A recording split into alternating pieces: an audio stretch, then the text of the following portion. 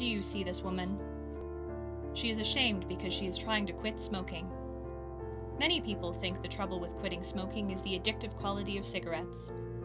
But here at Nostradamus and Sons, we don't abide by this nicotine nonsense. We understand that the true appeal of cigarettes is the sex appeal. But take away the style, and what do you have? A habit just as awkward and embarrassing and silly as a smoking habit really is. That's why we here at Nostradamus and Sons have created Subtlety and Snuff.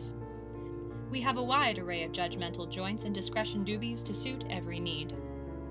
We at Nostradamus and Sons have handpicked and procured a selection of tacky, bizarre, or just plain nonsensical objects and converted them into cigarettes, making them hard to hold, hard to smoke, and most importantly, impossible to look good while doing so.